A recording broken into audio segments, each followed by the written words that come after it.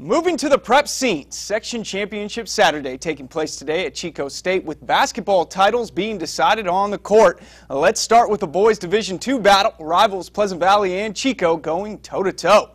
Pick it up third quarter PV in possession. Joseph Abdul Masi drives down the lane for the bucket plus the foul. Freebie off the mark, but the Vikes lead 37-32. However, Chico would go on a 12-0 run capped off by this Angel Roldan triple. Panthers led by five after three. Fourth quarter, it goes from bad to worse for PV. As time expires, Devin Bauer flies in for the cherry on top as Chico captures the D2 title with a 70 56 win over PV.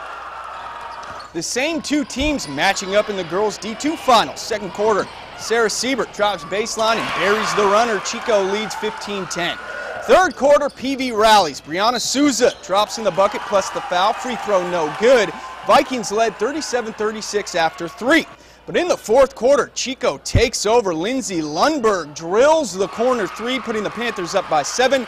And Chico goes on to win 56-50. It's a big night for the Panthers as they sweep the D2 title. Tilts